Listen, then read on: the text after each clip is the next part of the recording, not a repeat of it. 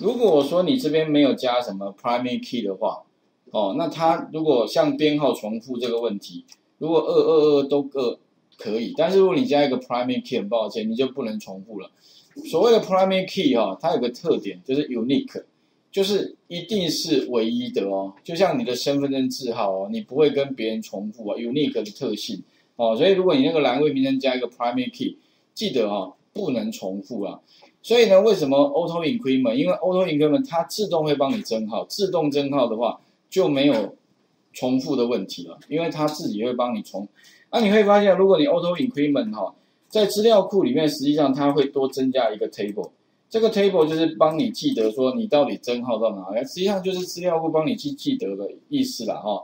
等于是说把这个记得的那个呃那个工作交给资料库了。OK，大概是这样的一个概念。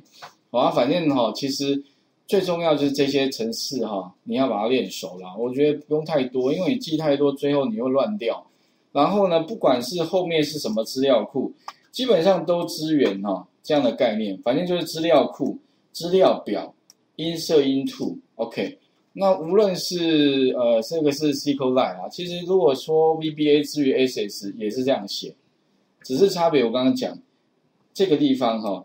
它没有什么 if not this，VBA 里面没没办法，哦啊没办法怎么办呢？就是要想办法，所以没办法就是要自己想办法了，好啊怎么想办法？自己找出程找出程式撰写的方式啦，啊所以这些东西其实基本上就是我们也是会去想，哎用什么方式来解决最简单？OK 啊以后的话你就遵循固定的模式，反正程式就写出来了，哦那接下来的话呢，如果说我们刚刚都是用什么？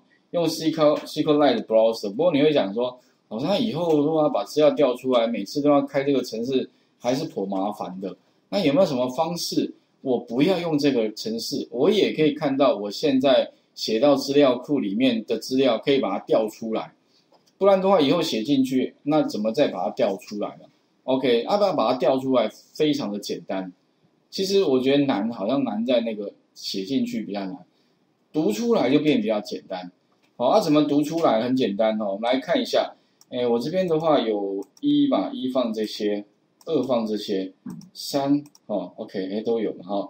而且刚刚同学是说零开头会不见，有点像 Excel 里面那个啊。所以 Excel 之所以会那个不见，是因为栏位你是预设是数字嘛，所以你只要把它改文字啊。其实理论上我们都文字，所以理论上应该不会有问题才对了哈。不然的话，可能要在检查一下哪个环节出错。好，那可是问题，我们现在如果不希望哈，透过那个 SQLite Browser，毕竟还要透过一个应用程式才可以解决，那怎么办？没关系，我们自己解决这个问题。那怎么解决？第一个哈，我一样把刚刚的程式了哈，也许把它改成叫 Cursor 零一底线 Select。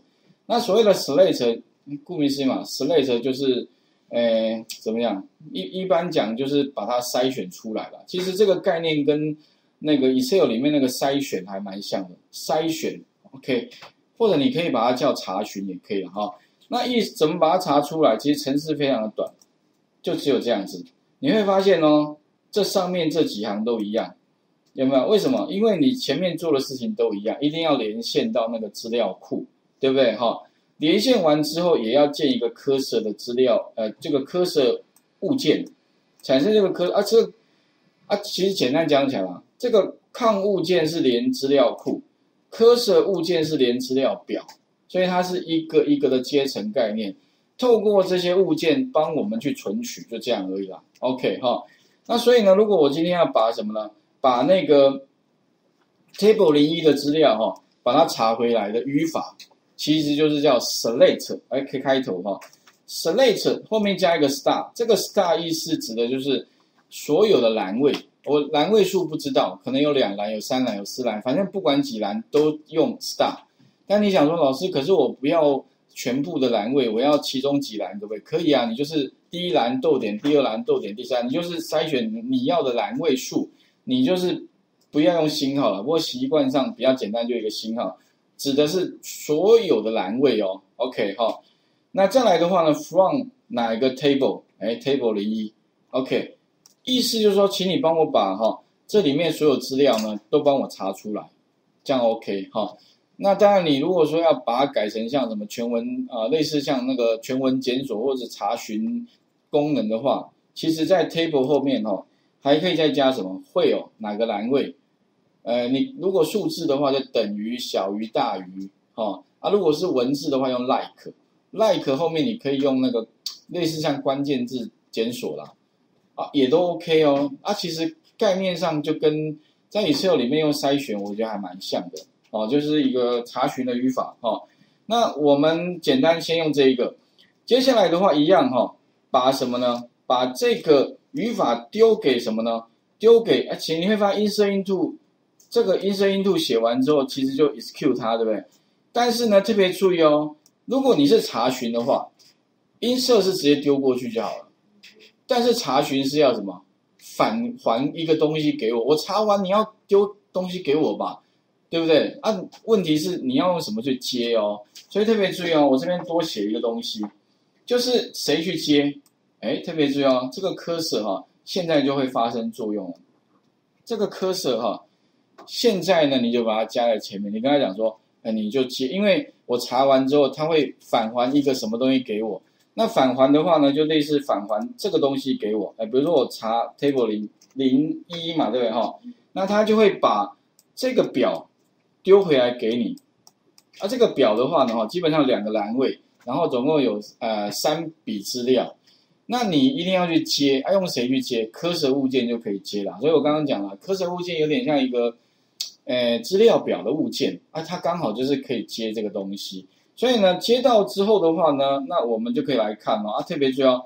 可是问题丢给他去接，对不对哈？哦，我先把它执行一下，给各位看一下哈。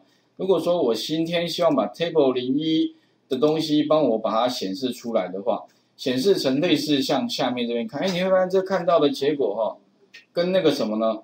跟这个上面看到的结果应该是一样的啦，有没有？只是差别，我上面是用中文的，这边是用英文的栏位名称啊，一样三，哎，其他都一样，好，有没有？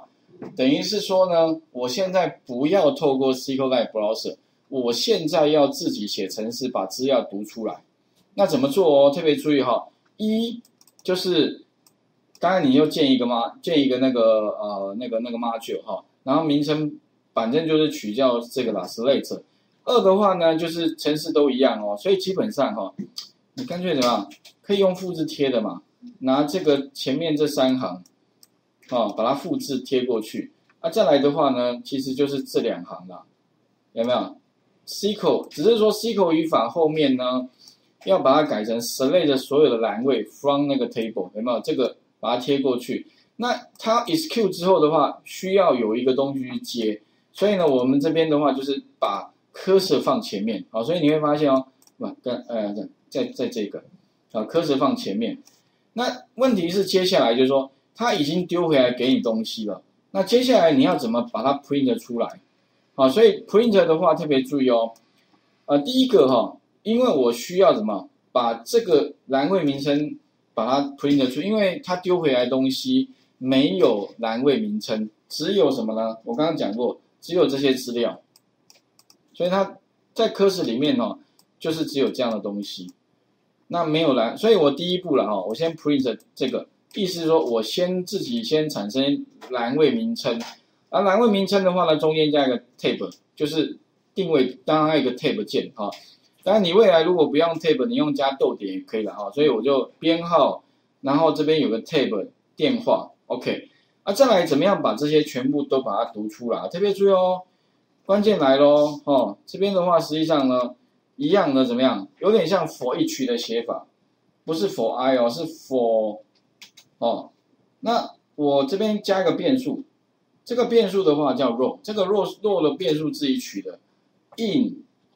什么呢？这个科室里面，就是在这个科室里面的话，哈，那我帮我把什么呢？所有的东西在这个科室里面，它意思是说所有的列了，有没有？第一列、第二列、第三列，所以它读过来的话，哈，它就会帮我把它放在啊，所以它会先读第一列里面给什么？给科室。那接下来我要怎么样把它列印出去嘛？所以底下的话就是打一个 print。print 什么东西呢？哎，特别注意哦，我希望先把这个啊，这个指的，因为它丢过来的话，一定会是一个串列。OK，啊，串列有两个东西啊，所以这边的话呢，我就是先 print 第一个串列哦，第一个啊，第一个串列怎么表示？我们前面讲过嘛，它从零开始嘛，所以零，对不对哈？然后中间串一个什么呢？串一个也是定也是定位点哦，所以一个 T 嘛，对哈？哎，串一个定位点，然后呢，再把这个编号就放过来了啊，再来里面的电话呢，哎，一样的，这边呢再把它改多少？这边改成一，哎。零的话表示第一栏的第那个资料，一的话表示第二栏啊，因为从零开始，你看得懂吗？哈，OK，好，反正应该不会太复杂了，就这样子啊。最后的话呢，全部跑完之后的话，这样就 OK 了哦啊。最后如果 OK 的话，那这边抗哈连线的话，最后当然就补一个 close 就好了哈，就是应该把它连线关闭了。不过其实有时候我真的我有时候偷懒哦，我可能这一行都不写。哦，啊这样不写有没有关系？其实也没关系啦。啊，啊什么缺点？就是会浪费那么一点点记忆体，浪费多少呢？其实说真的，因为现在记忆体都太大了，根本微不足道。那个 close 不写没关系。好，OK。啊，有没有 commit？不用，因为不又不是音色音度，所以其实基本上写这样就 OK 了。好，那我们来看一下，基本上啊，如果写完之后把它执行一下，哎，执行 OK，看一下，哎，有没有结果就完成了哈。可以特别注意哦，应该可以看懂意思吧？就是一样去连线，一样是下一个 SQL 语法啊，给那个什么了？给给这给啊这个这个啊，它会返还一个表，就这个表给我。那我要把它一个个读出来的话啊，先输出上面的栏位名称，下面的话就是 for each in cursor 啊，in cursor 里面呢就是先读第一笔，所以它一定会先把这个这一笔先放在 row 里面。那为了要拆开来，所以就是这个，这个实际上就是这个肉，这个实际上就是这个。中间的定位点，实际上就是这个东西，哦，这样应该可以看得懂吧？哈，啊，OK，哦，一定要花时间啊，这东西说的你不花时间哦，真的很难理解，甚至有时候我觉得这个比 VBA 还更稍微复杂一点点，啊，因为 VBA。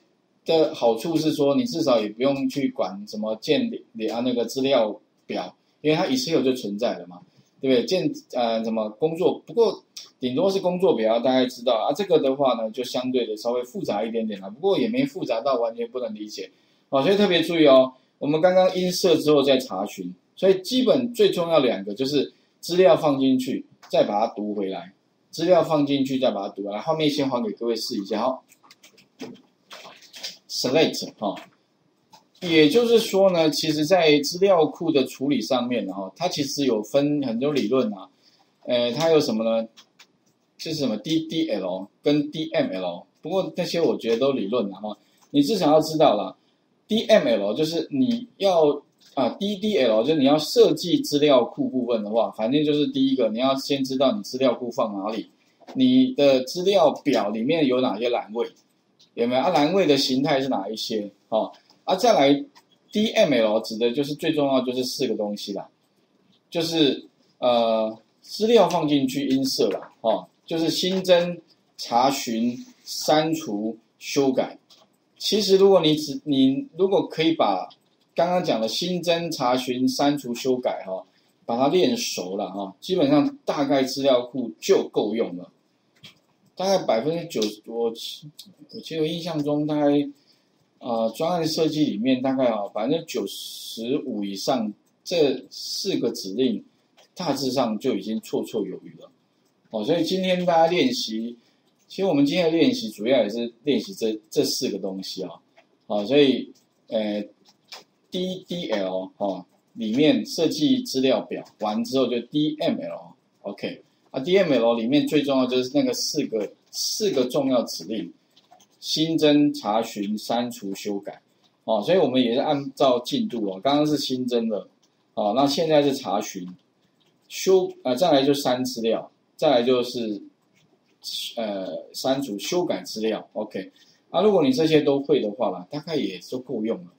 哦，这些东西你说要做一个像进销存系统。其实也就是从这个概念衍生出来的啦，啊，只是说呢，无论哪一种资料库啦，所以你今天即便哦，早期以前可能用呃用 SQL Server，你要用 Oracle，用 MySQL，其实只是换一个环境，啊，语法其实都相同啦，哦，大致上都差不多，所以请各位哈，还是务必把这些熟练，好，然后待会我们再来讲，查询完之后就是呃修删除资料哈，跟修改资料。